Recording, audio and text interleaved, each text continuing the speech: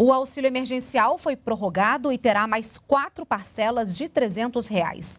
Nesta terça-feira, o IBGE divulgou o desempenho da economia brasileira no segundo trimestre do ano.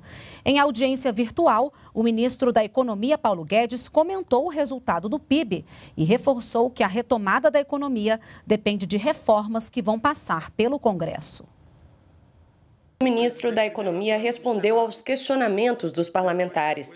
Ao comentar a queda de quase 10% do PIB em função da pandemia, destacou que o país pode surpreender a todos com uma retomada rápida, o que os economistas chamam de crescimento em forma de V. Esse foi o impacto inicial, uma queda de aparentemente 10%, mas na verdade isso é um som distante.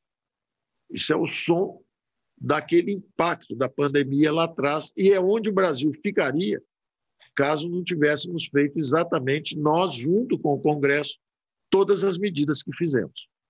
O que aconteceu realmente é que nós, com essas medidas que fizemos, conseguimos criar uma volta em V. Paulo Guedes falou da prorrogação do auxílio emergencial, mais quatro parcelas de 300 reais, e destacou o esforço em suplementar salários e reduzir a carga horária de trabalho para manter empregos na pandemia. Durante boa parte da audiência, o ministro da Economia bateu na tecla da importância de se destravar investimentos obrigatórios para injetar recursos onde é mais necessário argumentou que menos impostos na folha de pagamento podem garantir mais empregos formais e defendeu pontos da reforma administrativa, que deve chegar ao Congresso nesta quinta-feira. Se não houver é, o uso de recursos que estão com o andar de cima, você não vai conseguir reforçar o andar de baixo. E aí a sua observação quanto a super salários, salários astronômicos, setor público, tudo isso vai ficando cada vez mais claro, transparente.